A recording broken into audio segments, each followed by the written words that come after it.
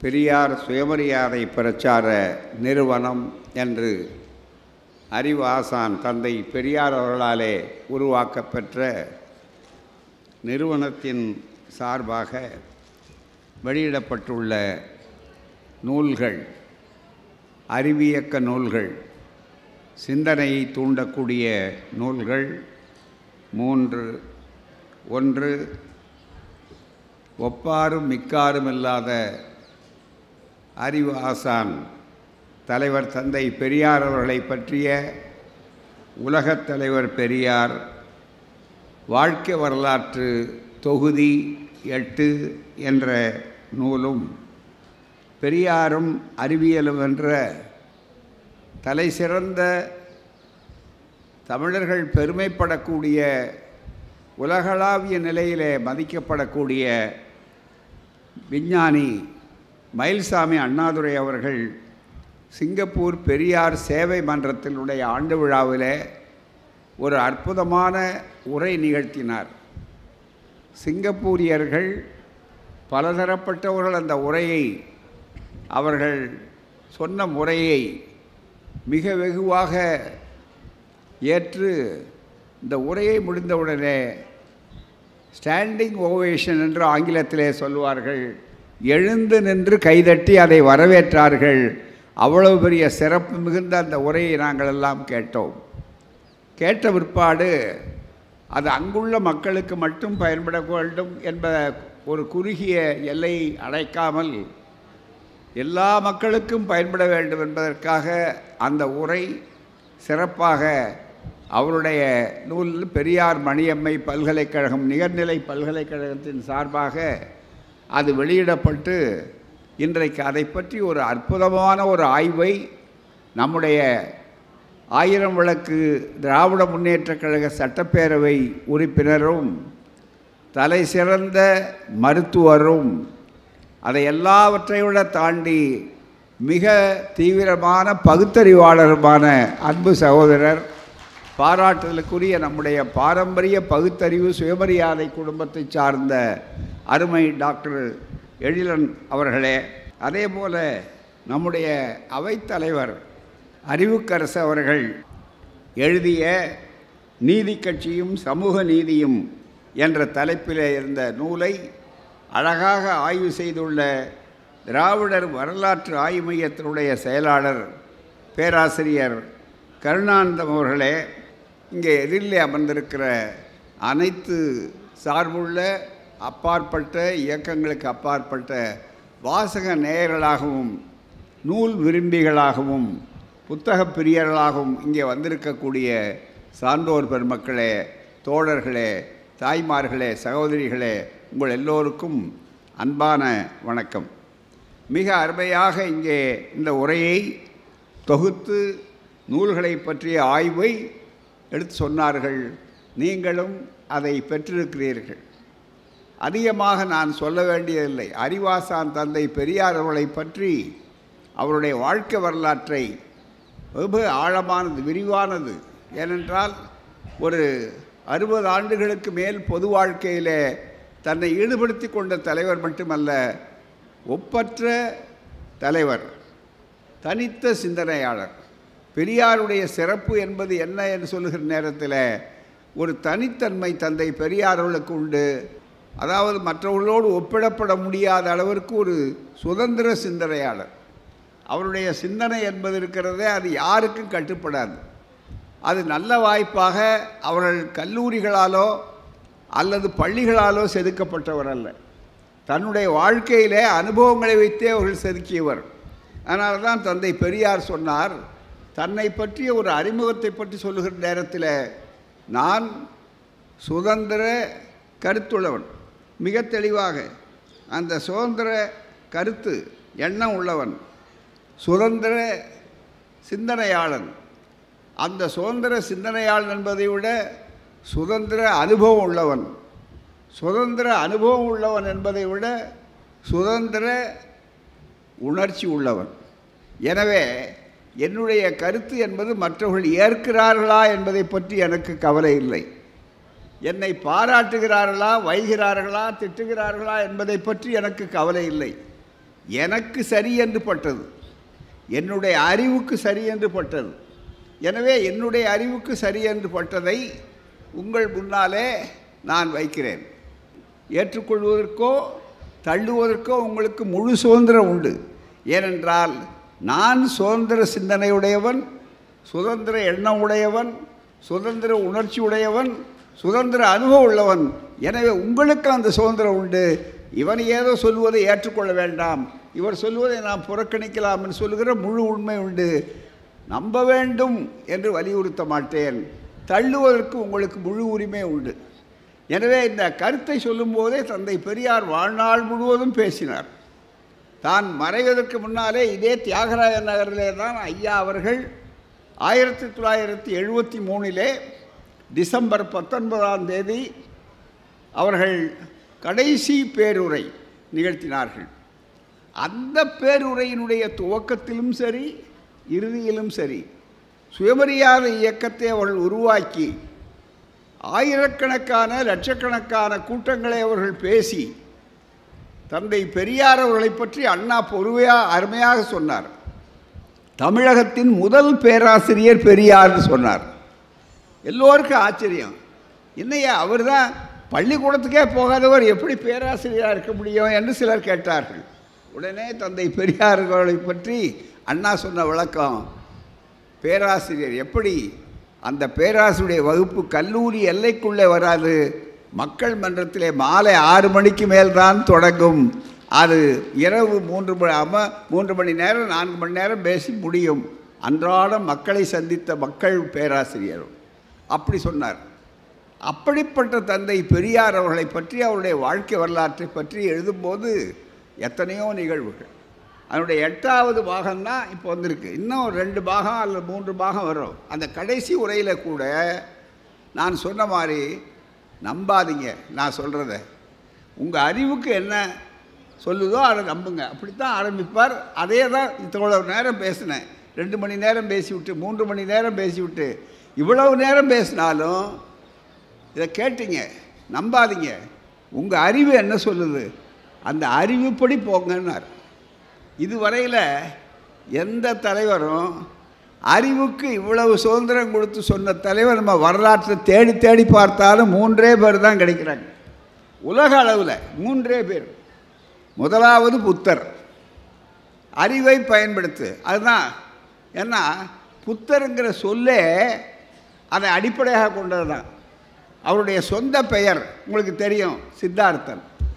இங்கே சென்னையில் பேசும்போது எழும்பூரில் போதி சொசைட்டி இருக்குது அதில் புத்தருடைய நூற்றாண்டு விழாவை ஆயிரக்கணக்கான ஆண்டு ரெண்டாயிரத்தி ஐநூறாவது ஆண்டு விழாவை கொண்டாடின கூட்டத்தில் நான் அதில் கலந்து கொண்டேன். ஐயா பேசினார். என்னை வீரமணி அவர்கள் இருபதாம் நூற்றாண்டின் புத்தன் என்று பேசினார். எனக்கு முன்னால் என்ன நீங்கள் ஏன் எதற்கு என்று கேள்வி கேட்கக்கூடிய அளவில் நான் சொல்கிறேன் அவர் என்னை ரொம்ப சொன்னார். நான் சொன்ன உடனே நீங்கள் நினைக்கலாம். அவர் என மேலே இருக்கிற பிரியத்தினால பெருமைப்படுத்தணும்னு நினச்சிக்கிட்டு பெரியார் இவர் வந்து இருபதாம் நூற்றாண்டின் புத்தர். அன்றைக்கு அவர் புத்தர் இன்றைக்கு இருபதாம் நூற்றாண்டு. அப்போ இருபதாம் நூற்றாண்டு இருபத்தி ஓராம் நூற்றாண்டில் இப்போ நாம் இருக்கோம். நீ இருபதாம் நூற்றாண்டின் புத்தர்னு சொன்னார். ஆகவே அப்படின்னு சொல்லிட்டு நான் மட்டுமா புத்தன்? நான் என்ன புத்தன்னு சொன்னார்? சரி நான் மட்டுமா புத்தன்? நீங்கள் எல்லாரும் புத்தன் தான்னார் எல்லாரும் ஒரு நிமிஷம் கொஞ்சம் அதிர்ச்சி அடைஞ்சு பார்த்தாங்க. ஆமாம் இல்லை யாரும் மறுக்க முடியாது. மறுக்கிறவங்க யார்? அப்படின்னு சொல்லிட்டு அடுத்த விளக்கம் சொன்னார். யாரெல்லாம் புத்தியை பயன்படுத்துகிறார்களோ அவர்களெல்லாம் புத்தர் என்று சொன்னார் பெரியார். இதை புத்தருக்கு புத்தர் எப்படி வந்தது அந்த பேர்? அப்படின்னா புத்தி அது பாலி மொழி. புத்தி அப்படின்னு. நாகபுரியில் டாக்டர் அம்பேத்கர் அவர்களுடைய அறக்கட்டளை சொற்பொழிவை முப்பது ஆண்டுகளுக்கு முன்னால் நாகப்பூர் பல்கலைக்கழகத்தில் நான் பேசினேன். பேசும்போது இந்த கருத்தை எடுத்து சொன்ன உடனே அங்கே இருந்த பேராசிரியர்கள் வரிசையாக உட்காந்துட்டு இருந்தாங்க. அதில் பாலிமொழி பேராசிரியர் அவர் அறியாமல் எழுந்துச்சு சத்தம் போட்டு வேகமாக மேடையை நோக்கி வந்து என்னை கட்டி பிடிச்சிக்கிட்டார். பிடிச்சி என்ன சொன்னார்? நான் இருபது ஆண்டுகளாக பாலிமொழிக்கு இங்கே பேராசிரியர். ஆனால் எனக்கு தோன்றாத கருத்து அந்த பெரியாருக்கு தோன்றி அவர் சொல்லியிருக்கார் பாருங்க அப்படின்னார். பூரா யார் புத்தியை பயன்படுத்துகிறானோ அவன் புத்தன். அவ்வளோதான் அதுக்கு முன்னால் அவர் அது சாதாரணமாக அந்த மாதிரி தந்தை பெரியார் அவள் சிந்தித்ததற்கு என்ன காரணம்? அந்த சுதந்திர அறிவு. ஆகவே தான் அந்த அறிவியல் மனப்பான்மையும் பெரியாரும் பிரிக்கப்பட முடியாது. சுயமரியாதை இயக்கம் பகுத்தறிவாளர் இயக்கம் என்று சொல்லுவதே அறிவியல் மனப்பான்மை தான். அறிவியல்னால் நினச்சா நம்மால் என்ன நினைக்கிறாங்க? ஏதோ சயின்ஸு தான் நமக்கு புரியாத விஷயம். அது எங்கேயோ போகிறது அப்படின்னு. அதை ரொம்ப எளிமையாக்கி காட்டார் எழிலன். அதனுடைய எல்லா பரிமாணங்களையும் ரொம்ப அழகாக காட்டினார் மயில்சாமி அண்ணாதுரை அவர்கள். அந்த முறையில் ரொம்ப அழகாக சொன்னார் பெரியார் சொன்னார். அழகாக சொன்னார் மனிதர்களுக்கு உங்களுக்கு நல்ல சிந்தனைக்கு வரணும்னா அவன் என்ன செய்யணும்? அப்படின்னாரு. சுதந்திர சிந்தனையை பற்றி சொல்லும்போது என்னுடைய படிப்பு. ஆனால் எனக்கு ஐந்து ஆட்களை வச்சுக்கோங்க ஐந்து அம்சங்களை வச்சுக்கோங்க. அது மூலமாக உங்களுக்கு தெளிவாக தெரியும். என்ன அந்த ஐந்து அம்சங்கள்னு சொன்னால் ஏன் எதற்கு எப்படி எப்போது எவ்வாறு? இவ்வளோதான் வேற ஒன்றும் இல்லை. இதெல்லாம் கேட்டதுனால தாங்க இந்த ஒலிபெருக்கில் நீங்கள் கேட்டுக்கிட்டு இருக்கீங்க. இதெல்லாம் கேட்டதுனால தான் பின்னால் அது வந்திருக்கு. முதல்ல ஆடியோ அப்புறம் வீடியோ. இன்னும் இது எங்கே போகும்னா நானே ஆள் இல்லாத நேரத்தில் நான் பேசுகிறது தான் நாளைக்கு கூட பெரிய அளவுக்கு வேறு விதமான அளவுக்கு வர்றதுக்கு ஆர்டிஃபிஷியல் இன்டெலிஜென்ஸ் நுண்ணறிவு. பிரதமரே அசந்து போகிறார் அவர் பாட்டு பாடுறார். மிக முக்கியமாக அவருக்கே பயம் வந்துருச்சு. அதுதான் மிக முக்கியம். எல்லா இடத்துலையும். ஆகவே நுண்ணறிவு அப்படின்னு சொல்லக்கூடிய நுண்ணறிவு ஆய்வு இருக்குது பாருங்கள் அந்த அளவுக்கு வந்தது. இதெல்லாம் கண்டுபிடிச்சவன் யார்? நம்மளால் கீழே விழுந்தா உடனே கன்னத்தில் போட்டுக்கிறான் மேலே விழுந்தா போகிறான் இன்னும் பார்த்தீங்கன்னா இதில் வந்து கூட்டங்கள் இப்போ சென்ற ஆண்டை விட இந்த ஆண்டு கொஞ்சம் குறைச்சது ஏன்னா வெயில் அது அடிக்கடி இருக்கிறதுனால மழை பெய்யறதுனால எல்லாத்தையும் இருக்கலாம். ஆனால் அதே நேரத்தில் ஐயப்பன் சாமி கோயிலுக்கு கூட்டம் நெருக்க தாங்க முடியலங்கிறான் ஏன்னா எப்பவுமே வியாதி ரொம்ப வேகமாக பரவும். இது இருக்குது பாருங்கள் சிகிச்சை ரொம்ப மெதுவாக தான் இருக்கும். டாக்டர்கள் எண்ணிக்கை குறைவாக தான் இருக்கும். நோயாளிகள் எண்ணிக்கை அதிகமாக தான் இருக்கும். சாதாரணமாக அது ஒன்றும் பெரிய விஷயம் இல்லை. ஆகவே அப்படிப்பட்ட ஒரு சூழ்நிலையில் இந்த ஏன் எதற்கு எப்படி என்று கேள்வி கேட்டதனுடைய அடிப்படையினால தான் கேட்டு அவர் என்ன செஞ்சார்? அதோட முடியல. அறிவு தந்தை பெரியார் சொன்னார். அறிவு அறிவுக்காக அல்ல. தான் பெரிய அறிவாளின்னு காட்டுறதுக்காக அல்ல. வெளிநாட்டில் பல பகுத்தறிவு இயக்கம் பெரிய அளவுக்கு இந்த மாதிரி மக்கள் இயக்கமாக இல்லை. பல நாடுகளில் உலக அளவில். ஒரு குறுகிய ஆய்வாளர்கள் மத்தியில் இருக்கக்கூடிய ஒரு இயக்கமாக தான் இருக்குது ஆனால் இங்கே மக்கள் இயக்கமாக மாற்றியிருக்கிறார் தந்தை பெரியார் அவர்கள். அதுக்கு என்ன காரணம்? மக்களுக்கு பயன்படணும். எது மக்கள் பிரச்சனையோ அதை எடுத்தார். அப்போ சொன்னார் தந்தை பெரியார் அவர்கள் அதை தான் இந்த நூல்கள்னு நீங்கள் பார்த்தீங்க. மனிதர்களுக்கு பயன்படணும். மனித சமுதாயத்தில் மனிதர்கள் மனிதம் சமத்துவம். சுதந்திரம் சகோதரத்துவம் உள்ள மனிதத்தை தேடுகிறோம். அதுதான் மிக முக்கியம். மனிதனுக்கு என்ன சிறப்பு? பகுத்தறிவாளர் ரொம்ப அழகாக அதுக்கு விளக்கம் சொன்னார் ஐயா அவர்கள். பகுத்தறிவினுடைய பயன் என்ன? வளர்ச்சி அடையும். மிக முக்கியம். ஐந்தறிவு அறிதல். அவ்வளோதான் ஆறாவது அறிவு பகுத்தறிவு. அந்த ஆறாவது அறிவு என்ன? சொன்னார். ரெண்டாயிரம் வருஷத்துக்கு முன்னால் இருந்த குருவி அதே மாதிரி தான் கூடு கட்டுது. அதுக்கு மட்டும்தான் கூடு கட்டுது பெரியார் அவள் சொன்னது. ஆனால் இன்றைக்கி மனிதன் வீடு கட்டுறான். என்னென்ன மாதிரி வந்தாச்சு? முதல்லலாம் நமக்கு சட்டத்தில் என்ன சொன்னால் அசையா சொத்து அசையும் சொத்து. அது கூட இப்போ நம்ம தமிழ் இயக்கம் வந்து திராவிட இயக்கம் வந்தனால்தான் இந்த தமிழில் வருது. சம தாங்கிற சம சாங்க தாங்கிற அப்படின்னு எழுதுவான் மிக முக்கியம். பத்திரம் எழுதும்போதே என்ன எழுதுவான்னா பத்திரத்தில் அங்கே என்ன? சுகஜீவனம். கஷ்ட ஜீவனம் எழுதும்போது வார்த்தைகள் பத்திரவாதியே அப்படி எழுதுவார். ஸ்தாவர சங்கம சொத்து அப்படின்னு எழுதுவாங்க. இப்போ அசையா சொத்து மூவபிள் இம்மூவபிள் ப்ராப்பர்ட்டி வருது. இப்போ ஒரு காலத்தில் நாமெல்லாம் இந்த மாதிரி கட்டடம் அது இதெல்லாம் மூவபிள்னு. பூகம்பம் வந்தாலும் மூவபிள் இது வேறு ஒன்றுமே இல்லை. அதுக்கு முதல்ல இல்லை. பூராமே. ஆகவே இப்போ பூகம்பம் வராமலே மூவபிள். எப்படி நகர்றது? இந்த இடத்த மாற்றாங்க அந்த கட்டடத்தை மாற்றி வைக்கலான்னா சோவியத் ரஷ்யாவில் ரொம்ப நாளைக்கு முன்னால் கடவுள் உதவி இல்லாமையே மனிதனுடைய அறிவினால் இந்த இடத்த விட்டு கட்டடத்தை அப்படியே தூக்கி அந்த இடத்துல வைக்கலாங்கிறான். வளர்ந்த மரத்தை தூக்கி புதுசாக புது இடத்துல வைக்கிறாங்க. வச்சு உடனே அதுக்கு அதை கொண்டு வர்றான் இதெல்லாம் எப்படிங்க? இப்போ பேசுகிறோம் ஆயிரத்தி தொள்ளாயிரத்தி முப்பத்தெட்டு இந்திய எதிர்ப்பில் க கடற்கரையில் கூட்டம் போட்டாங்க. நாங்கள்லாம் ஒரு முறை ஐயாவிட்ட பேசும்போது ஒரு கேள்வி கேட்டோம் சந்தேகம் கேட்டோம். ஐயாட்ட தந்தை பெரியார்கிட்ட ஐயா இந்த பத்தாயிரம் பேர் கூடியிருக்காங்கன்னெல்லாம் செய்தி இருக்குது நீங்கள் பேசியிருக்கீங்கன்னு வந்திருக்க. ஒரு சந்தேகம் எங்களுக்கு. பத்தாயிரம் பேருக்கு எப்படி அவங்க குரல் கேட்கும்? ஆகவே நீங்கள் எப்படி அந்த அந்த கருத்து போய் சேரும்? அப்படின்னு கேட்ட நேரத்தில் சொன்னார். உங்களுக்கெல்லாம் அதிசயமாக இருக்கும். அந்த காலத்தில் என்ன? மூணு இடத்துல நிற்பாங்க ஆளுங்க. தோழர்களே அப்படின்னு ஒன்று அங்கே தோழர்களே அதுக்கப்புறம் அங்கே தோழர்களே அதுக்கு மேலே அங்கே தோழர்களே இவ்வளவு சொன்னோம். இன்றைக்கி அது தேவையில்லைங்க நான் பேசுகிறேன் எங்கேயோ இருக்கிறவர் கேட்டுக்கிட்டு இருக்கார் மட்டுமல்ல. இந்த பேச்சு உலகம் பூரா இருக்கக்கூடிய ஒளிப்பதிவாக பெரியார் வலைக்காட்சியில் போகுது. முப்பத்தி முக்கோடி தேவர்களில் ஒரு பயலுக்காவது இது தெரியுமா? யாருக்காவது? நாற்பத்தி எட்டாயிரம் ரிஷிகள் இருந்தாங்க அதை கண்டுபிடிச்சாங்க இதை கண்டுபிடிச்சாங்கன்னு சொல்கிறோம் இல்லையே. சொன்னார் அழகா. மயில்சாமி அண்ணாதுரை புத்தகத்தை பார்த்து சொன்னார் நிலவில் தண்ணி இல்லை. அது இருக்குது அப்படின்னு சொன்னோடனே முடிஞ்சு போச்சு. அமெரிக்காக்காரனே சொல்லிட்டான் அப்படின்னு முடிக்கலை. யார் சொன்னார்னா ஏன் எதற்கு எப்படி எப்போ எவ்வாறு? யோசனை செய். பெரியார் சொன்னார் பாருங்க.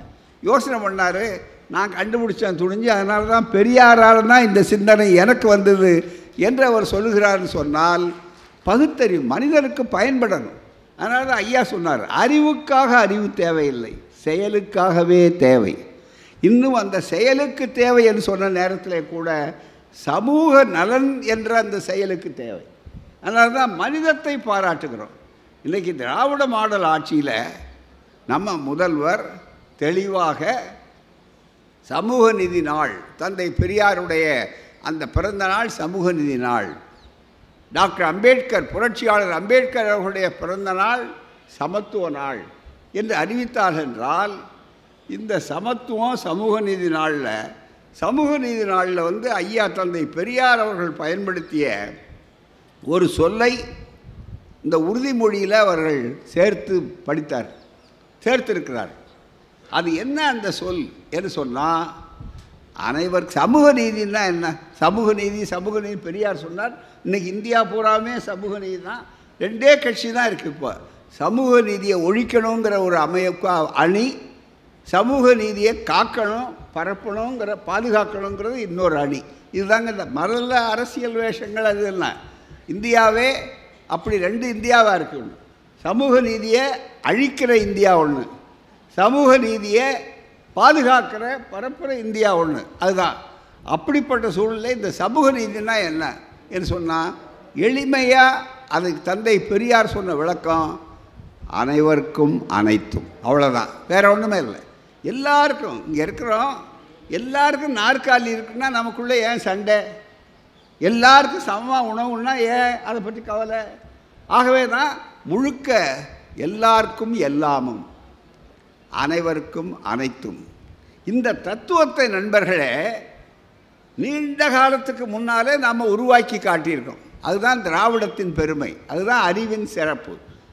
என்ன அறிவின் சிற பகுத்துண்டு பல்லுயிர் ஓம்புதல். நூலோர் தொகுத்தவற்றுள் எல்லாம் தலை. எப்பொருள் யார் யார் வாய் கேட்பினும் அப்பொருள் மெய்ப்பொருள் காண்பது அறிவு. எப்பொருள் எத்தன்மை தாயினும் பொருள் தோற்றம் தன்மை எல்லாவற்றையுமே. இப்படி சொன்னதுனால தான் இந்த அறிவுக்கு சுதந்திரம் கொடுத்தது சொன்ன பாருங்கள் புத்தர்னு. ஏதோ விட்டுட்டேன்னு நீங்கள் நினைக்காதீங்க. புத்தியே புத்தன். அந்த புத்தர் தான் சொன்னார். முன்னோர்கள் சொன்னார்கள்ங்கிறதுக்காக நீ நம்பாதே. முன்னோர்கள் எழுதினார்கள்ங்கிறதுக்காக நம்பாதே. முன்னோர்கள் நடந்தார்கள் என்பதற்காக பின்பற்ற வேண்டும் என்ற அவசியமில்லை. உன்னுடைய அறிவு என்ன சொல்லுகிறது? அதை பார். இந்த அறிவுக்கு முதல் முதல் சுதந்திரம் கொடுத்தவர் புத்தர். ரெண்டாவது நமக்கு தெரிய வள்ளுவர் எப்பொருள் யார் யார் வாய் கேட்பினும்னு சொன்னார். அதே மாதிரி தந்தை பெரியார் அவர் எதிர்நீச்சல் அடித்து கொண்டு போனார். ஒரு கல்லூரியில் பேசுகிறார் குடியாத்தத்தில். யார் சொன்னாலும் நீங்கள் நம்பாதீங்க என்று ஆரம்பித்தார் முதல்ல. எதிர வரிசையில் இருந்த ஒரு மாணவன் எழுந்திரிச்சு துணிச்சலாக கேட்டார். ஐயா யார் சொன்னாலும் நம்பாதீங்கன்னு சொல்கிறீங்க நீங்கள் சொல்கிறத நம்புறதா இல்லையான்னு கேட்டார். உடனே உடனே தைரியமாக கேட்டார் துணிச்சலா. கொஞ்சம் கூட யோசிக்கல தந்தை பெரியார். அதை விட வேகமாக அவர் கேட்ட வேகத்தை விட கணினி பொத்தான் அழுத்துகிற மாதிரி மிக வேகமாக சொன்னார். நான் சொன்னாலும் நம்பாதே. சொல்லிட்டு அடுத்த வாரத்தை சொன்னார். ஓ அறிவு என்ன சொல்லுதோ அந்த அறிவுப்படி நீ ஏற்றுக்கொள்ள நம்பாத நம்பு என்று சொன்னார். எனவே இந்த துணிச்சல் இந்த வெளிப்படையான தன்மை இருக்கு பாருங்கள் இதை சொல்லிட்டு சமூகத்துக்கு அது பயன்படணும். மனிதம் என்று சொல்லுகிற நேரத்தில் மனிதன் இந்த பகுத்தறிவினால ஒருவனுக்கு ஒருவன் வேதத்தை வளர்க்கக்கூடாது. ஒருவருக்கொருவர் தீண்டாதவன் தொடக்கூடாதவன் படிக்கக்கூடாதவன் ஆண் உயர்ந்தவர் பெண் தாழ்ந்தவர் எப்பவுமே ஆண் எஜமானன் பெண் அடிமை நிரந்தரமாக எந்த காலத்திலும் பெண்ணுக்கு சுதந்திரம் கொடுக்கக்கூடாது என்று சொல்லி மனிதர்களையே பிரித்து வைத்தது எது? இங்கே பேசினார்கள். ரொம்ப அழகாக நம்முடைய பேராசிரியர் கருணானந்தம் அவர்கள் சொன்னார்கள் அதே மாதிரி டாக்டர் எழிலன் அவர்கள் சொன்னார்கள் மற்ற தோழர்கள் சொன்னார்கள். அவர் சொல்லும்போது நீதி கட்சியினுடைய பகுதியை எடுத்து ரொம்ப அழகாக சொன்னார். நாங்கள் தான் பிராமணர் அல்லாதான் நெகட்டிவாக சொல்லலை ரொம்ப இதாக நீங்கள் அப்ராமணர்கள்னு சொ அப்ராமணர்கள்னு சொன்னீங்கல்ல. முதல் எடுத்த உடனே ஆரியன் ஆரியன் அல்லாதன்னு சொன்னாங்க. இப்போ அது வேண்டாங்க. இப்போ கூட நம்ம திருவிழான்னு கொண்டாட வச்சுருக்கான் பாருங்கள் நமக்கே போதை மருந்து போட்டு. எல்லா திருவிழாவும் என்ன? திருவிழாவை தேடினீங்கன்னா பொங்கல் விழாவை தவிர மீதி எல்லா திருவிழாக்களையும் பார்த்தா அந்த அசுரனை கொன்னான் இந்த அசுரன் மேலே போனான் த- அந்த ஊரில் இருக்கிற கடவுளுக்கு என்ன பெருமை? அசுரனை கொன்னான் இந்த அசுரனை அழிச்சான் தீபாவளிக்கு என்ன பெருமை? அசுரனை அழிச்சான் இந்த அசுரன் வந்தான் அப்படின்னா அசுரன் அசுரன். இப்போ பார்த்தா அவன் அசுரன். ஆனால் இப்போ அசுரன் கருத்தே மாறுது. சினிமா தலைப்பு கூட இப்போ அசுரன் வரக்கூடிய அளவுக்கு வந்தாச்சு. அது மிக முக்கியமாக ஆனால் அசுரன்னால நம்மளுக்கு புரியாமல் வெறுக்கிற மாதிரி அவன் பிரச்சாரத்தினாலேயே ஆக்கிட்டான். உலகம் பிரச்சாரத்துக்கு அடிமைன்னு ஒரு சமஸ்கிருதத்தில் கூட ஒரு பழமொழி அவனுடைய முறையை நல்லா வச்சுருக்கான். அதுதான் மிக முக்கியம். அதில் ஒரு தெளிவான சூழ்நிலை. அசுரன்னா என்னங்க அர்த்தம்? கொஞ்சம் யோசனை பண்ணி பாருங்கள் பொதுவானவங்க நிறையா இருக்கீங்க. அதனால் இந்த கூட்டத்தை நான் ரொம்ப அதிகமாக பயன்படுத்துன்னு நினைக்கிறேன். எங்கள் தோழர்கள் குறைவாக இருந்தாலும் மற்றவர்கள் இருக்கீங்க யாரும் பயன்படக்கூடியது. நீங்கள் ஐயா சொன்ன மாதிரி எடுத்துக்கணும்னு அவசியம் இல்லை. கேளுங்க கொஞ்சம் நேரம். அப்புறம் நீங்கள் அதை பற்றி யோசிப்ப யோசிச்சிங்க அசுரன்னா என்ன? சுரபானத்தை குடித்தவன் சுரன் குடிகாரன். அசுரன்னா என்ன அர்த்தம்? குடிக்காதவன் அர்த்தம் ஐயா. குடிக்காதவன்லாம் கெட்டவனா? சொல்லுங்கள் நல்லா நீங்கள் சொல்லுங்கள் நம்ம எப்படி ஆகிட்டா நம்ம மூளைக்கு சாயம் ஏற்றி ஏற்றி இந்த ஒரு வார்த்தை கூட சொல்கிறான் ஆங்கிலத்தில் அவர் சொன்னாங்க நாம் தமிழில் அதை அப்படியே மொழிபெயர்த்து மூளைச்சலவை மூளைச்சலவைங்கிறோம். நாங்கள் அதை பயன்படுத்துறதில்ல விடுதலையிலையோ மற்றதோ திராவிட கழகத்தில். மூளை சாயம்னு சொல்கிறது தாங்க. மூளைக்கு சாயம் ஏற்றிட்டான் மூளை சுத்தமாக தான் இருக்குது அதுக்கு இவன் சாயம் ஏற்றிட்டான் அது இப்போ ரொம்ப காவி சாயம் ரொம்ப ஏறிட்டா ஏற்ற முடியுமா ஏற்ற முடியுமான்னு பார்க்குறான் ஆகவே மிகப்பெரிய அளவிற்கு இந்த சாயம் ஏற்றுற மாதிரி ஆகிட்டான் ஐயோ அசுரையா அசுரையா அந்த அசுரனை கொண்டான்னா? அசுரன் ஏன் அதை சொன்னான் மற்றவர்களை பாதுகாத்தான் மிகப்பெரிய அளவு. குடிக்காதவன் அசுரன். யோக்கியன் அயோக்கியன் மாதிரி சுரன் சுரபானம் சோமபானம்னு குடித்தான் அது நமக்கு வந்ததில்லை அது இறக்குமதி செய்யப்பட்டது. ஆகவே தான் அப்படிப்பட்ட சூழ்நிலையில் மனிதர்களை பிரித்தார். பெரியார் சொன்னார் மனிதத்தை மனிதர்களை பிரிக்காதே. உலகப் பார்வை. மானமும் அறிவும் மனிதருக்கு அழகு. ஒரு மனிதனுக்கு அறிவை பற்றி மட்டும்தான் இது வரையில் பேசுகிறான் யோசிக்கல. ஆனால் அந்த அறிவு எப்போது அழகாகும்? மானமும் அறிவும் இணைந்த நிலையில்தான் ஒப்பற்ற அழகாக அது திகழும் என்று அழகாக சொன்னார்கள். ஆகவே மனிதர்களுக்கு அந்த வாய்ப்பை உருவாக்கின பெருமை தந்தை பெரியாருக்கு உண்டு. மனிதர்களுக்கு உண்டு. ம- அந்த அடிப்படையில் தான் பார்ப்பன் அல்லாதார் என்றிருந்த இயக்கத்தை அவர் பெரியார் அவர்கள் இந்த இந்த இடத்துல இந்த வரலாற்று நூலை ஒட்டி சொல்கிறேன் நான் இந்த கருத்து. இது ஒன்றும் பிரச்சார மேடை இல்லை இந்த வேறு இடத்துல நம்ம சொல்லலை. ஆகவே இந்த புத்தகத்தில் அவருடைய உ- உழைப்பு என்பது எப்படிப்பட்டிருக்கிறது என்று சொன்னால் அவர்கள் அழகாக எடுத்து சொன்னார் மாற்றினார் ஏன் எதிர்மறையில் சொல்லணும்? சரி திராவிடர்கள். அந்த திராவிடர்கள்னு சொன்னால் அதுக்கு ஒரு பண்பாட்டு உரிமை தெளிவாக இருக்குது அந்த திராவிட பண்பாடு அந்த திராவிட பண்பாடு பிறப்போக்கும் எல்லா உயிர்க்கும். எல்லாரும் சமம். இது திராவிட பண்பாடு. ஜாதி கிடையாது. அந்த ஜாதிங்கிற சொல்லே தமிழ் சொல் இல்லை. அதே மாதிரி குலம் வேறு ஜாதி வேறு. அதுலேயே நீங்கள் திருவள்ளுவருடைய குலம்ங்கிறத நல்ல பொருளில் பயன்படுத்துகிறார் ஜாதிங்கிறதுக்கு இடமே கிடையாது. இன்னும் கேட்டால் அதை பயன்படுத்தக்கூடிய அளவுக்கு சமத்துவம் வேணும் அப்படின்னார். மிகப்பெரிய அதனால தான் இன்றைக்கு அந்த சமத்துவத்துக்கு மற்ற போராட்டம் நடத்த வேண்டிய அளவிற்கு இருக்கிறது மிக முக்கியமாக. அதை தான் நம்முடைய பேராசிரியர் கருணானந்தன் சொன்னார் பிரித்து வச்சா பிரித்து வச்சான்னு சொன்னார் பாருங்கள் யார் பிரித்தவனோ மற்றவர்கள் அவர்கள் தான் சொன்னார். ஆமாம் இன்றைக்கு மாறி என்ன சொல்கிறான் எப்படி குடிக்காதவனெல்லாம் அசுரன் அசுரன் சொல்லி வெறுக்கிற மாதிரி ஒரு கெட்ட பேர் மாதிரி. இப்போ அதுக்கு இன்னொரு உதாரணம் தமிழ் சொல்ல சொல்லலாம். உங்களுக்கு என்னென்னா ஒரே நாத்தமாக இருக்குங்கிறான் நம்ம ஆள் மூக்கை பிடிச்சிக்கிட்டு. நாற்றம் ஒரே நாக்கமாக நாற்றமாக இருக்குங்க. நாற்றமாக இருக்குன்னா அகராதி எடுத்து பாருங்கள் நாற்றம்ன்ற சொல்லுக்கு வாசனைன்னு அர்த்தம். ஆனால் இன்றைக்கி இவன் முகத்துலேயே காட்டி விடுறான் அதை. மிக முக்கிய மூக்கை பிடிச்சிக்கிட்டு காட்டி. ஆ நாத்தமாக இருக்குங்கன்னா தலைகீழை மாற்றிவிட்டாங்க அந்த தலைகீழை பல விஷயங்கள் மாற்றினதில் இதுவும் அதுதான். அது மாதிரி மிக முக்கியமாக நம்முடைய அமைப்புகளை தலைகீழாக மாற்றுற மாதிரி இவர்களை எடுத்து சொல்லி வந்தார்கள். அதனால தான் திராவிடர் அப்படின்னு எடுத்து சொன்னார்கள். அதை இங்கே சொன்னார்கள். சுருக்கமாக உங்களுக்கு சொல்கிறேன் இது மனு தர்மம் அசல் மனு தர்மம். இந்த அசல் மனு தர்மத்திலேயே நிலத்தை எப்படி பிரித்தாங்க அப்படின்னா மண்ணை. அவர் சொன்னார் பாருங்க வெள்ளைக்காரன் வந்தால் வேற ஒரு நாட்டுக்காரன் பேரை பாருங்கன்னு. இந்த மனு தர்மத்திலேயே ரொம்ப பேர் இப்போ கூட கேட்குறான் ஏன்னா ரொம்ப பெருசாக இப்போ எல்லாவற்றையும் மாறி பேசுவாங்க.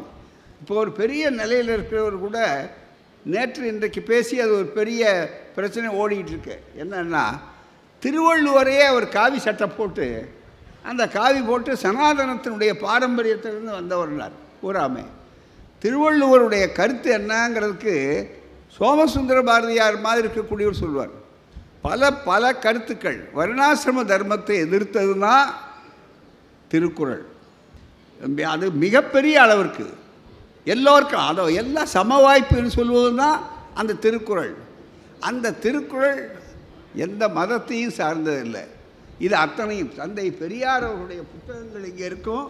நீங்கள் இந்த புத்தக கடை இருக்கிற இடத்த போய் பார்த்தீங்கன்னா பெரியார் களஞ்சியம்னு இருக்குது திருவள்ளுவர் திருக்குறள் பற்றி தந்தை பெரியாருடைய ஆய்வுகள் அத்தனையும் தொகுத்து இந்த களஞ்சியத்தில் இருக்குது அதில் அவர்கள் ரொம்ப தெளிவாக சொல்கிற நேரத்தில் சோமசுந்தர பாரதியார் போன்றவர்கள் தேப்போமி போன்றவர்கள் திருவிக்கா போன்றவர்கள் எல்லாம் அழைத்து எழுபத்தெட்டு ஆண்டுகளுக்கு முன்னாலே திருக்குறளுக்காக சென்னையிலே மாநாடு நடத்தி மக்கள் மத்தியிலே அதை பிரச்சாரம் செய்து வீட்டுக்கு வீடு திருக்குறள் இருக்கணும் அப்படின்னு எடுத்து சொன்ன பெருமை வள்ளுவர் வகுத்த வாழ்வு நெறின்னு சொல்லக்கூடிய பெருமை தந்தை பெரியார் அவர்களுடைய முயற்சியிலே உண்டு.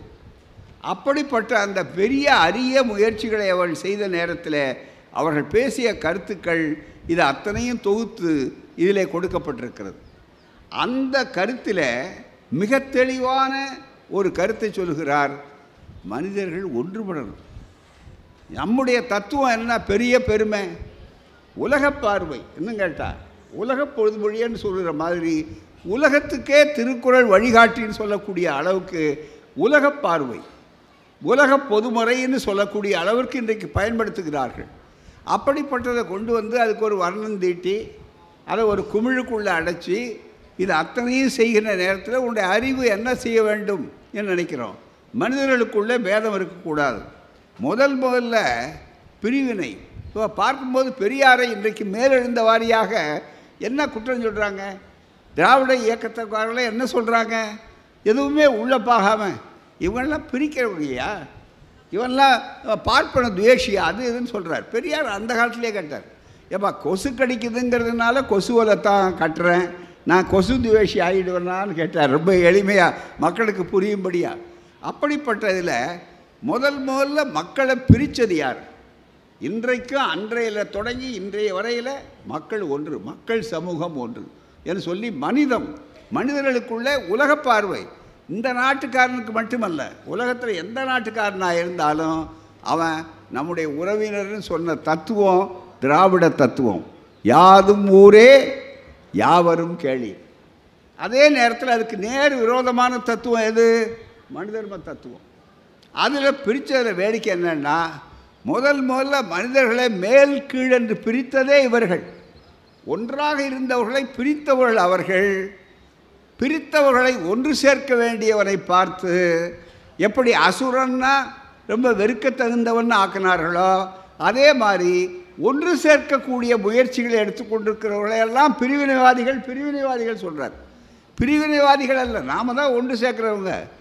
சாதாரணமாக ஒன்று சேர்க்கல இந்தியாவே ஒன்று சேர்க்கக்கூடிய அளவில் நம்முடைய தத்துவங்கள் இருக்கின்றன. ஏனென்றால் இது மனிதத்தை அடிப்படையாக கொண்டது. இது வெறுப்பை அடிப்படையாக கொண்டதல்ல மனித நேயத்தை கொண்டது. அதனால தான் பெரியார் சொன்னார் எனக்கு எந்த பற்றும் இல்லை வேறு எந்த பற்று? மானிட பற்று மனித பற்று மனிதர்கள் எல்லாம் ஒன்று சேர வேண்டும். உலகம் ஓர் குலமாக இருக்க வேண்டும் என்று சொல்லக்கூடிய அளவுக்கு உலக பார்வை கொண்ட ஒரு தத்துவம் அந்த தத்துவ அடிப்படையில் தான் இன்றைக்கு அறிவியல் அதை உண்டாக்குது. பாருங்களேன் நம்ம மொழி பிரச்சனைகள் உரிமைகள் இதெல்லாம் பேசுகிறோம் ஆனால் அதுக்கு முன்னால் நீங்கள் எல்லையெல்லாம் போட்டுக்கிட்டு இருக்கோம் இப்போ. இந்த எல்லையை அவர் தாண்டினார் அந்த எல்லை தாண்டினார் ஏன் எல்லை உலக சண்டையெல்லாம் நடக்குது. ஆனால் இந்த மின்னஞ்சல்னு ஒன்று வந்தது பாருங்கள் இந்த வாட்ஸ்அப்புன்னு ஒன்று வந்தது பாருங்கள் இன்னும் அந்த இந்த வகைராக்கள் இருக்குல்ல. இது பூரா எங்கேயோ இருக்கிறாரு அவர் டக்குன்னு நீங்கள் ஒரு தட்டு தட்டுறாரு உடனே அலோன்றார் பூராம. இது மற்றது செய்யாது உலகத்தை இணைச்சிட்டாங்க. அதுதான் மிக முக்கியம். அது அறிவு அறிவியல். அதுதான் மிக முக்கியம். ரொம்ப அதிகமாக நாங்கள் கூட சொல்லுவோம் கூட்டங்களில். இந்த பெண்கள் அதுக்கு முன்னால் பார்த்தீங்கன்னா திருமணங்களில் அதில் இப்போ நல்லா பழகுறாங்க இந்த இயக்கம் எல்லாம் வந்ததுனால திருமணங்களில் பார்த்துக்கினா அதுக்கு முன்னால் பழைய காலத்தில் நடே நாட்டுக்கிட்டே தான் இருப்பாங்க பெண்கள். பெண்ணுக்கு சொல்லி கொடுத்துருப்பான் ஒரு வாரம் ட்ரைனிங் கொடுப்பான் சாதாரணம் இல்லை. நீ பாரு அங்கே போய் நிமிர்ந்துட்டு உட்காரக்கூடாது. அதில் திமிரு பிடிச்ச பொண்ணுன்னு நினச்சிக்குவாங்க உடனே அதனால் நீ தாலி கட்டுறதுக்கு முன்னால் நட்டுக்கிட்டே இருக்கணும் தலையை நட்டுக்கிட்டு இருக்கணும்னு.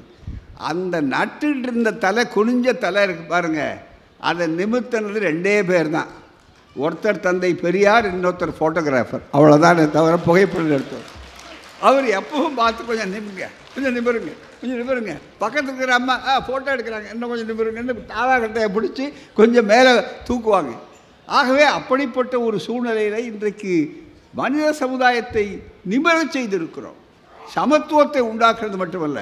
தலை குனியாதே காலில் விழாதே அது உன்னுடைய சுயமரியாதை என்று சொல்லக்கூடிய அளவிற்கு. ஒரு மிகப்பெரிய அளவிற்கு வாய்ப்பு இருந்தபோது தந்தை பெரியார் நடைமுறைப்படுத்தியவர். அந்த காலத்திலே பிரபலமான நாதஸ்வர வித்வான் சிவக்கொழுந்து மதுரை சிவக்கொழுந்து. செட்டிநாட்டில் ஊர்வலம் நடத்தினா அதுக்கு முன்னால் பிரபல நாதஸ்வரக்காரரை அழைச்சிட்டு வந்து அவரை முன்னால் மணமக்கள் உட்கார்ந்துட்டு வரும்போது வருவாங்க. வந்துக்கிட்டு இருக்கிறப்போ மிக முக்கியமாக அவர் நாதஸ்வரம் வாசிச்சுட்டு வருவார். நிறைய பணக்காரர்களானதுனால அவங்க நிறைய பணம் கொடுத்து அதுக்கு தகுந்த மாதிரி வச்சா அது கௌரவம். அதுதான் மிக முக்கியம். அப்படி செட்டிநாட்டு பகுதியில் ஒரு திருமணம் பிரபலமானவருடைய பணக்காரருடைய வீட்டு திருமணம். அங்கே அவர் போகும்போது அந்த மதுரை சிவக்கொழுந்து இருக்கிறார பிரபலமான நாதஸ்வரவு தான் அவர் தான் நம்பர் ஒன் அந்த காலத்தில் பெரியார் அவர்கள் இதை சொல்லி இது பதிவாயிருக்கு மிக முக்கியமாக சுயமரியாதை இயக்கம் தொடங்கிய காலம் ஆயிரத்தி தொள்ளாயிரத்தி இருபத்தி ஏழு இருபத்தெட்டு முப்பது அந்த காலகட்டம். அங்கே அழகிரியும் தந்தை பெரியாரும் போகிறார்கள். அங்கே இருக்கக்கூடிய ஒரு மிக முக்கியமான பிரமுகர்கள் வீட்டிலே தங்குவதற்காக. வழியிலே இந்த நாதஸ்வர நிகழ்ச்சி. எப்போதுமே பட்டுக்கோட்டை அஞ்சானஞ்சன் அழகிரிக்கு நாதஸ்வரம்னா ஒரு ஆசை. அந்த நாதஸ்வரத்தில். ஆனால் நாயன கட்சி உடனே நடக்குது உடனே அது இறங்கி ஐயா நீங்கள் உள்ளே போங்க நான் பார்த்துட்டு வரேன்னு என்று இறங்கிட்டார். இறங்கி அங்கே போன உடனே என்ன நடந்ததுன்னா சட்டை இல்லாமல் தான் வாசிக்கணும். அவருக்கு வேர்த்து கொட்டுது. அதுக்காக பிரபல நான் என்ன பண்ணார்? அந்த வித்வான் ஒரு சின்ன வட்டு துண்டு மாதிரி மேலே போட்டு இப்படி துண்டை போட்டு தொடச்சிக்கிட்டு வர்றாரு வேர்க்க. உடனே அங்கே இருக்கிற பிரபலமான பெரிய மனிதர்கள் வசதியாளர்கள் அந்த ஜாதிக்காரர்கள்லாம் சேர்ந்து என்ன பண்ணாங்க? இங்கே எங்கள் முன்னால் துண்டு போடக்கூடாது நீங்கள் அந்த துண்டை எடுக்கணும். எடுத்தால் தான் நீங்கள் வாசிக்க முடியும். இந்த அனுமதிக்க மாட்டோம் என்று சொன்ன உடனே அவருக்கு ஒன்றும் புரியல. ஐயா நான் துண்டு போடுற ஐயா எனக்கு வேர்த்து கொட்டுது. ஆகவே தான் அதை துடையிறதுக்காக சின்ன வண்டு கை கொட்ட மாதிரி பெருசாக வச்சுருக்கேன். அவ்வளோதான் என்று சொன்னார். இல்லை இல்லை அது எதுவாக இருந்தாலும் நீங்கள் தோளில் போட்டு வரக்கூடாது. என்று வாசித்து நடந்து வரணும்னு சொன்னார். அப்போ இதை வேடிக்கை பார்த்து கொண்டிருந்த ஒருவர் அதிலிருந்து ஒரு குரல் சிவக்கொழுந்து துண்டை எடுக்காதே மேலே மேலே போட்டிருப்பதை எடுக்காதே தொடர்ந்து வாசி என்றார். யாருன்னு திரும்பி பார்த்தா சம்மந்தமே இல்லாமல் பட்டுக்கோட்டை அழகிரி சாமி அவர்கள் அதை எடுத்து சொல்லி பாசங்களேன்னு சொல்லுகிறார். உடனே அவர்கள் யோசிக்கிறார். உடனே அவங்க தர்ம எல்லாரும் உட்காருங்க அண்ணு. பெரியார் வரையில் பஞ்சாயத்து போகுது அந்த வீட்டில் உடனே வர்றாங்க என்னண்ணே ஐயா நான் துண்டு போடலையா இதாக இருக்கா அப்படின்னா அவர் போட்டு தான் வாசிப்பார். அதுக்கு மேலே நீ வா துண்டை எடுக்காதே. துண்டை எடுக்காதேங்கிறதுக்கு ஒரு கட்சி அங்கே சேர்ந்துருச்சு. துண்டை எடுங்கிறதுக்கு இன்னொரு கட்சி. ஆனால் இன்றைக்கி அதை தூக்கி எறிஞ்சிட்டாங்க. இன்றைக்கி நாதஸ்வர வித்வான்கள்லாம் எங்கே உட்காந்துட்டு இருக்காங்க சட்டையும் போட்டு வாசிக்கிறார்கள். அவர்கள் சமமாக உட்கார்ந்துருக்கிறார்கள். இன்னும் கேட்டால் அதே சமூகத்தை சார்ந்த பிரபல ராஜாசர் அவர்கள் கடைசி தந்தை பெரியார்களுடைய விழாவை பெரியார் விழா திறனில் நாங்கள் நடத்தினோம். நாமகிரிப்பேட்டை கிருஷ்ணன் அவர் தான் அன்னைக்கு இருந்ததில் ரொம்ப பிரபலமானவர். அவர் வாசனம் வாசித்தார் நாகஸ்வரத்தை பெரியார் ரசித்தார் அதை முடிஞ்ச உடனே உட்கார்ந்த உடனே எதிர்பாராமல் ராஜாசன் முத்தைய செட்டியார் அவர்கள் வந்தார் தடலில். வந்த உடனே ஐயா அழைச்சார். கட்டிலில் உட்காந்துருப்பார் ஐயா கடைசி நேரத்தில். தந்தை பெரியார் ஒரு பக்கத்தில் அவரை உட்கார வச்சார் இன்னொரு பக்கத்தில் இவரை உட்கார அவர் நெழுகிறார் யார்? பழைய ஞாபகத்தில். ஐயோ ஒரு பக்கத்தில் என்ன? ஆனால் ரெண்டையும் வைத்து படம் எடுத்து போட்டோம். பெரியார் மறையும் போது சுயமரியாதை இயக்கத்தினுடைய அந்த வெற்றி என்பது வெறும் பேச்சல் நண்பர்களே. ஒரு மனிதர் சமத்துவத்துக்காக சுதந்திரத்துக்காக சகோதரத்துவத்துக்காக ஒரு இயக்கத்தை தொடங்கி மற்றவர்கள்லாம் பேசினார்கள். சிலர் பாடினார்கள். சிலர் கவிதை எழுதினார்கள். சிலர் அதோடு முடித்து கொண்டார்கள். ஆனால் தந்தை பெரியார் இந்த கொள்கையை உருவாக்கி அதை மக்களிடத்தில் பிரச்சாரம் செய்து அதை தாண்டி மிக தெளிவான அளவிற்கு போராட்ட களத்தில் நின்றார். எதுவரையில்? தொண்ணூற்றி நாலு வயது இறுதி மூச்சு அடங்குகிற வரையில் அனைத்து சாதியினரும் அர்ச்சகராக வேண்டும் என்று போராட்ட களத்தில் நின்றார். அது அர்ச்சகர் சீட்டு கிடைச்சா புண்ணியம். மோட்சத்தில் முன் சீட்டு கிடைக்குங்கிறதுக்காக அல்ல. ஜாதி தீண்டாமை ஒழிய வேண்டும் சமத்துவம் வளர வேண்டும் என்பதற்காக. ஆகவே தான் மனிதத்தை முன்னிலைக்கு படுத்தக்கூடிய தலைவர் தந்தை பெரியார். அதுதான் இந்த வரலாறு. வேற ஒன்றும் இல்லை. மனிதம் அவ்வளோதான் அது இந்த நாடா அந்த நாடா. நாட்டுக்கு நாடு பிரச்சனை வேறுபடும். வீட்டுக்கு வீடு எப்படி பிரச்சனைகள் வேறுபடுகின்றனவோ அதுபோல் நாட்டுக்கு நாடு பிரச்சனைகள் வேறுபடும். தத்துவம் ஒன்று தான் சயின்ஸ் அதுதானே. அதனால தான் சயின்ஸ் பிரின்சிபிள் ஏன் எதற்கு என்று கேட்டதுனால தானே விஞ்ஞானம். உட்காந்துக்கிட்டு இருந்த ஐசக் நியூட்டன் சின்ன பையனாக தான் உட்காந்துருந்தார் கதை நீங்கள் உங்களுக்கு பாடத்தில் படிப்பீங்க. ஆப்பிள் விழுது டக்குன்னு. அவர் மற்றவங்க தான் டக்குன்னு எடுத்துகிட்டு போய் சாப்பிட்டுக்கிட்டு தான் ரொம்ப பேர் பசங்க. ஆனால் ஒரே ஒருத்தர் மட்டும் ஏன் அது கீழ் நோக்கி விழுது? ஏன் மேல் நோக்கி போகலை? அப்படின்னு கேட்கலையே. மிக முக்கியமாக அவர் ஒருத்தர் சிந்திச்சதுனால தானே இன்றைக்கி சென்டர் ஆஃப் கிராவிட்டி புவியீர்ப்பு மையம். அந்த புவியீர்ப்பு மையம் வந்ததுனால தானே விஞ்ஞானத்துக்கு அடிப்படை. ஆகவே தான் சுதந்திர சிந்தனை பகுத்தறிவு அறிவியல் நோக்கு அறிவியல் பார்வை இவைகளெல்லாம் உருவாக்கினாலும் மனித சமத்துவம் என்பது இருக்கிறத. அது மனித குலத்தை ஒன்றுபடுத்த வேண்டும் என்று சொன்னோம். அதனால தான் நம்ம சொன்னோம் இன்றைக்கு நமக்கு யார் மீது வெறுப்பு இல்லையே? இன்றைக்கி அவர்கள் சொன்னார்கள் மிக தெளிவாக இதில் எழுதியிருக்கார் திராவிடம்னு சொல்லும்போது கூட நண்பர்களே மிக முக்கியமாக இந்த இடத்துல சொல்லும்போது நாட்டை பிரித்தவங்க நாம் இல்லை. இன்றைக்கி ஒன்றாகணும்னு நாம் சொல்கிறோம் அதுதான் இடத்தையும் பிரிக்கலை நாம் மிக முக்கியமாக நாட்டை அதுதான் எடுத்து சொன்னார்கள் அவர்கள். பாபுலர் அல்லாதன்னா படிக்காதவன்னு நீ ஒதுக்கின. படிப்பு இவனுக்கு தான் படிப்பு அவனுக்கு கூடாது என்று சொன்ன நேரத்தில் தான் எல்லாரும் படிக்கணும். அனைவருக்கும் அனைத்தும். அதுதானே மிக முக்கியம். இன்றைக்கும் கலைஞர்களுடைய நூற்றாண்டு விழாவில் இன்றைக்கு பெரியார் நினைவு சமத்துவபுரம் தொடங்கிய நேரத்தில் அவர் சொன்னார். இந்தியாவே நாடே சமத்துவபுரமாகணும். உலகமே சமத்துவபுரமாகணும். அதுதான்.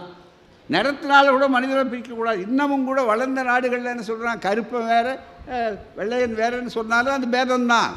அதே மாதிரி எந்த வகையில் பேதம் இருந்தாலும் பேதம் பேதம்தான்.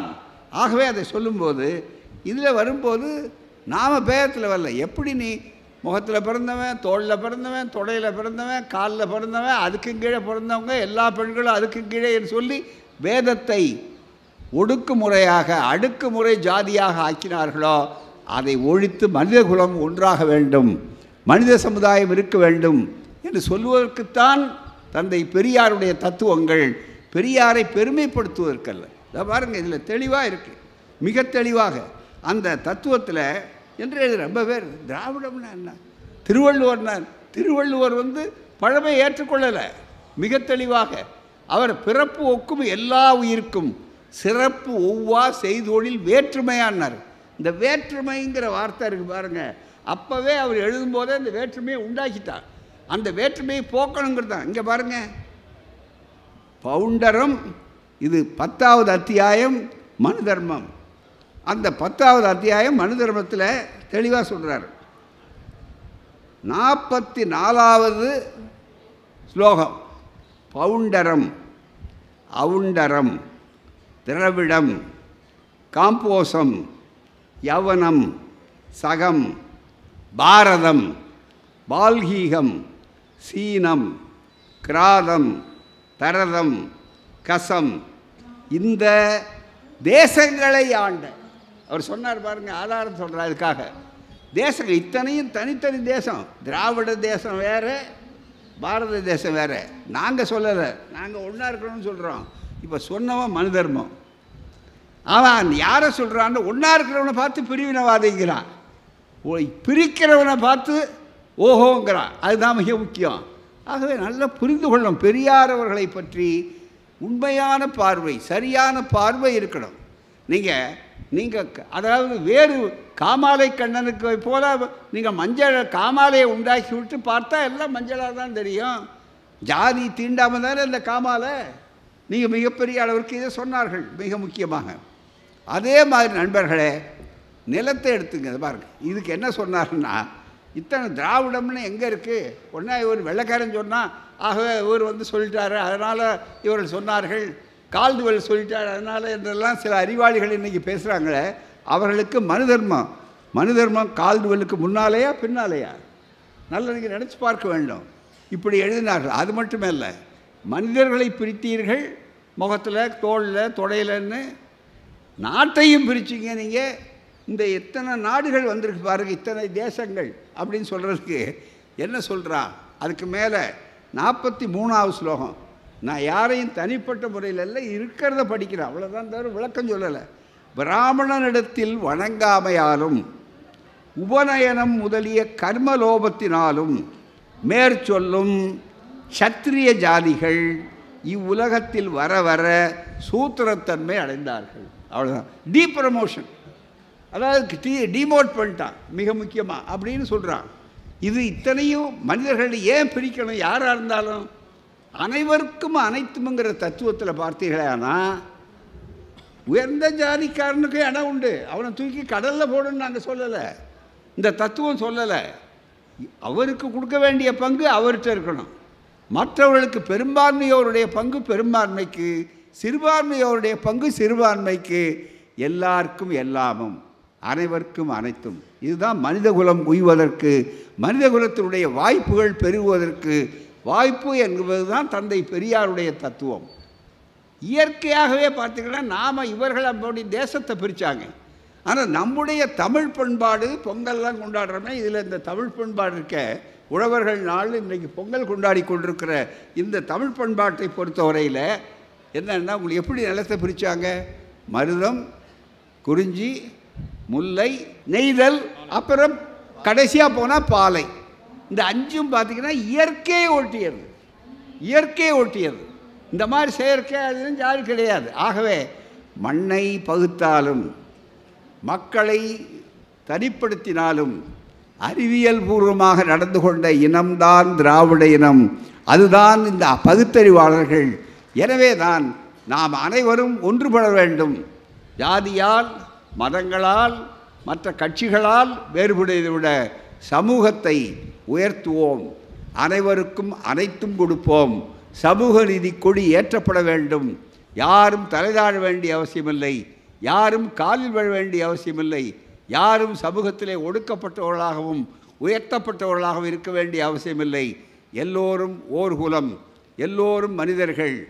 மனிதர்கள் மனிதத்தன்மை உள்ளதாக வேண்டும் என்ற பெரியார் உலகமயமாக வேண்டும் உலகம் பெரியார் மயமாக வேண்டும். அதற்கு ஒத்துழைப்பதுதான் சரியான முறை.